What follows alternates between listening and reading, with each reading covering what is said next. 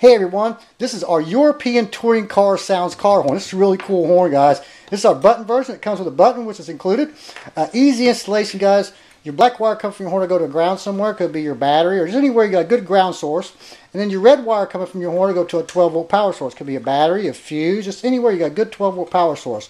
Then the yellow wire coming from your horn to go to one side of the button. There's two legs on the button here.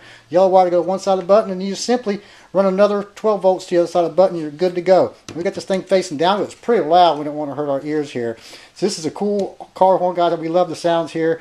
Uh, European touring car sounds car horn.